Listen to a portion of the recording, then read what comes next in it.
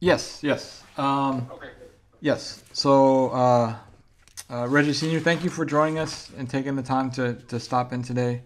Um, we always appreciate when we have you on on the episodes, and the people always like hearing your your um, uh, you know your take on things. So, thank you for joining us.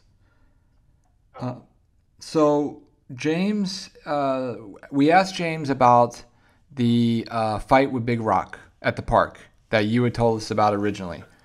And uh, James was saying that Suge was there and that uh, the you know the Damu dog was there. Is that the same one, or were there two incidents? Because I was a little bit confused about that. It was it was several. I mean, when the carnival when we had the carnival across the street, Reg broke that one up. When we had uh, the one at Lueders Park, two at Lueders Park. That's see, that's when Vincent was fighting uh, Rock, the little homeboy, okay. and the incident when me and Suge, well, Rock was telling him he gonna kill that Damu. See, Reggie don't remember well, that one. Why not? The incident that I spoke on before about the fight at Lueders, well, the incident at Lueders Park, the one I definitely recall is the one where Mob. He, he calls himself James now. Oh, you talking about Mob Piru? Okay, go ahead. He get mad when I call him Mob James. That's why. I I, I call Man, I always do call him James. Yeah, this, so this I never really, I was speaking on the Mob Piru. Gotcha.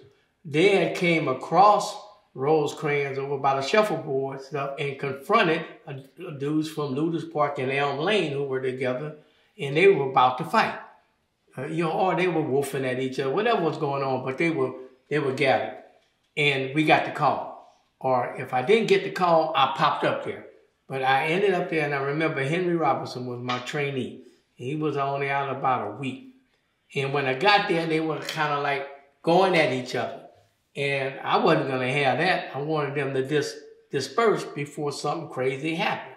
And they usually always gave me the respect when it when I ask that or request that, they'll show up. All the time. Even though, you know, they'll still be going at each other. So in this particular incident, as I recall, now we're talking about 30 years ago so, as I recall, I remember as they were about to start breaking up, uh, and, you know, still woofing at each other, I remember Rock came right in my face.